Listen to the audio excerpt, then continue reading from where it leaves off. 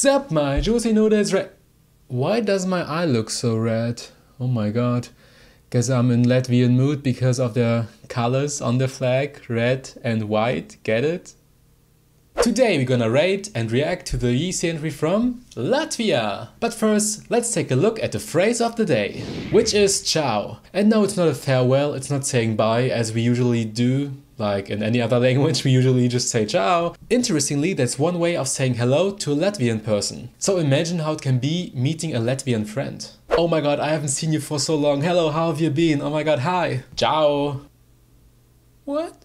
This year's representative is called Samanta Tina. She's 30 years old, was born in Latvia, and also tried her luck in 2013 and 2017 at the Lithuanian pre-selection, but didn't succeed until now.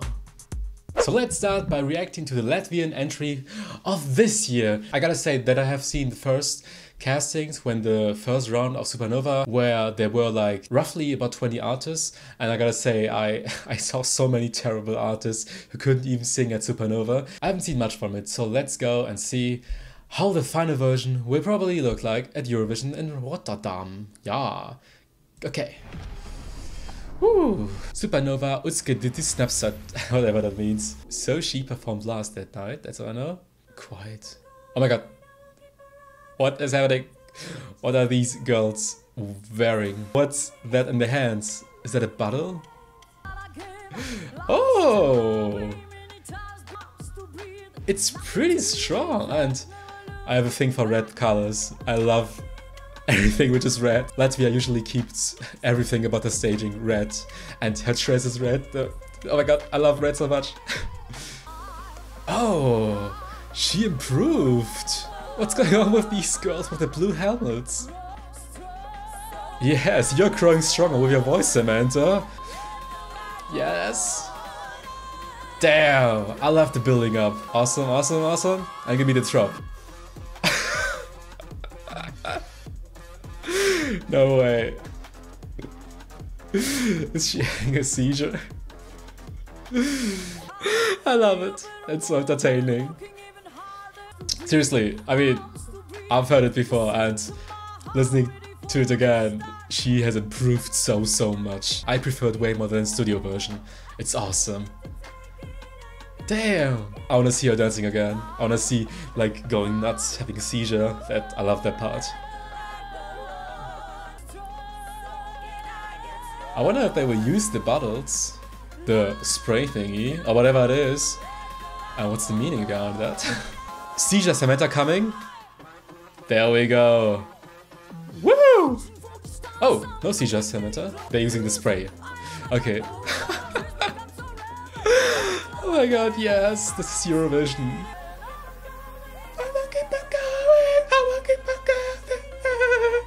My god, look how, how, how she's slaying the stage. It's like the stage belongs to her. She knows what she wants. Oh my god, she's singing flawlessly. It's such a hard song. Well, yes, give me that drop. she is feeling it, Samantha. Damn.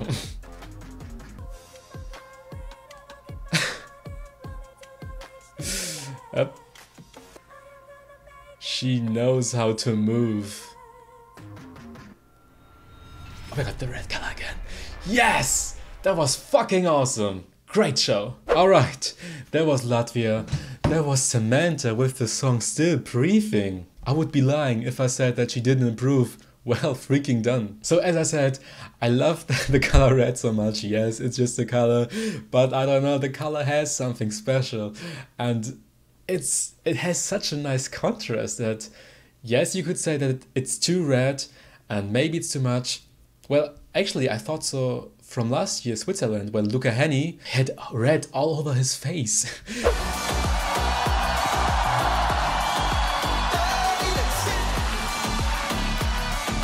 I thought that was too much, but this performance, I really think it fits because it's just a it's such a freaky and weird song. It is so weird in its own way, and you can have a high advantage in Eurovision if your song is weird. I mean, it's proven that weird stuff is more likely to get a higher result in Eurovision. And this is definitely weird, standing out, whatever you call it. She can be so proud performing this flawlessly because it's this kind of song where you can totally fuck it up because you have to hold this very long note, the build up, she sings na na na. yeah, I'm even I'm even having trouble. It's insane how she managed to do that, and she did it several times. I'm seriously surprised how she slayed those notes. As I said, I really love the build up part the bridge, I think you would say. Though the drop isn't like the best choice to my mind, I think it could have been a different drop. This one sounds a little basic, but still goes well with it because she's still having her, her seizure and it's still something very unique, I would say. And also, what was going on with the background singers? Kind of suspicious, interesting, materials, weird? It is all combined. I want to know the meaning behind it. What does it mean, the spraying thingy? I mean, she's still breathing. Does she need the spray to breathe or does she pray to spread the legs? What? Anyway, I think the constellation, it worked. Three women with this weird thingy. Samantha slaying the stage. She really did. She really did a great performance. You had the feeling that she filled the stage, that she knows she's on the stage, she knows what she does, she's comfortable, which made it seem really professional. She will stand out so much with this song. Just imagine it a ballad right in front of the song and right after the song, and then in between there's Samantha. yep, she will stand out for sure. It's a very entertaining song. Of course, I also have a bit contra, just as I mentioned before. I think the drop could have been a different one. It's not my personal taste. It's still good, as I said, but yeah, I think it could have been better. Additionally, I don't think it's a winner song. I think it will have a good result, but I don't see the song as a winner, which is fine, of course. I mean, I, I still think that it will pass the semifinal. I hope so, because she just brings another bop.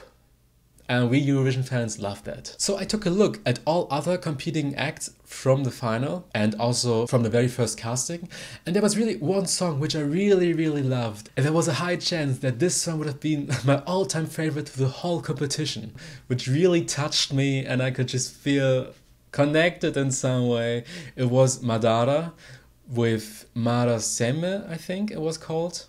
And it has it was so unique. People would say too good for Eurovision, and I, I kind of agree because I just loved it so much. But unfortunately, she didn't make it to the final. My favorites in the final were I really liked Tridomite. It sounded a bit generic, but I liked the ah Ah, you look good, look good like.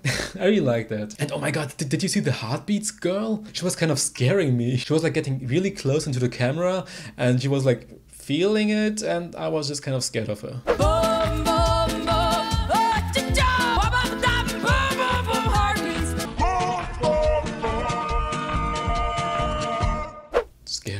But hey, during the whole final, I think they made the best choice for Eurovision. Still Breathing has definitely the highest chances at succeeding the semi-final and making it to the final. So let's take a look at the rating. So let's start by rating her vocals.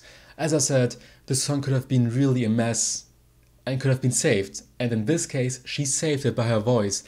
Her vocals are really strong. You can just hear that she is confident with her voice and that her voice is not shaky or anything. So I cannot give it any other but 9 points. Really, she did very very well with her voice. The performance was also pretty good. She did that dance thingy. She knew how to dance, which was of course looking a bit like a seizure, but how, how else can you dance to this song? To me, it looked a bit like a dank meme. Like it was zoomed in, very red, what only missed was the distortion audio, which goes like really loud and it would have been a dank meme.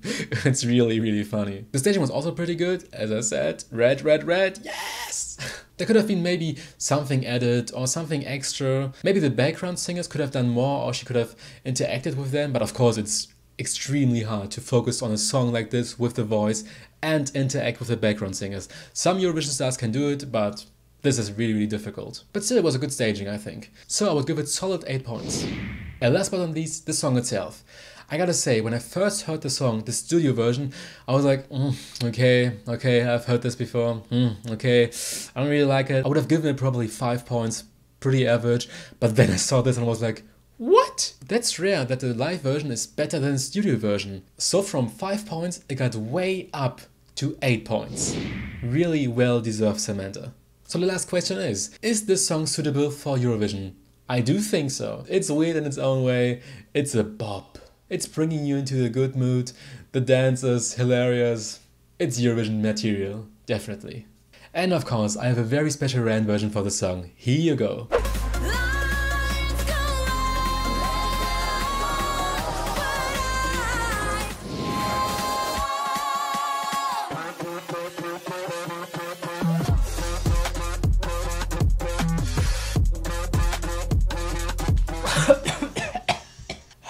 Many brain cells did I kill? I'm sure a lot. I'm sorry for that. I really hope you enjoyed this video. Thank you for watching so much and I wish you a beautiful day. Woo!